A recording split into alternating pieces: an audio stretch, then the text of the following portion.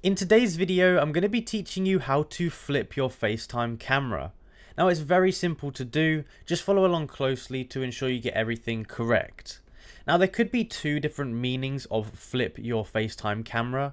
You might mean that you want to flip it from the face camera to the camera on the other side, or you might want to rotate it from landscape to portrait. I'm going to cover both of those things in this video. So first of all, what we need to do is we need to go onto FaceTime like I am here, and we first of all need to join a call. So I've joined a call and I need to now go ahead and turn my camera on. So you can see here I have my camera on and in the bottom right hand corner you're going to see a little camera icon with like a two arrows kind of twisting. To go ahead and flip the camera from face camera to the other way you want to go ahead and tap on that and you can see now I'm using my other camera here, just like that. And it's really as simple as that to go ahead and do.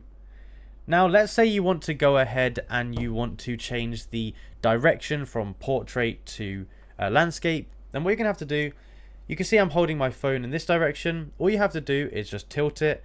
And it should, as you can see there, it should change the direction based upon the tilt of your phone. Now, if either of these settings aren't working, there's probably two reasons why.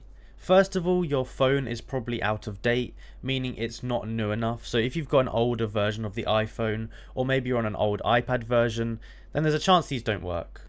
The second reason it might not work is you could have an out of date iOS version, so you'll have to go ahead and update your iOS version on your phone, um, which is very simple to do, but uh, it may take a while depending on your internet speed.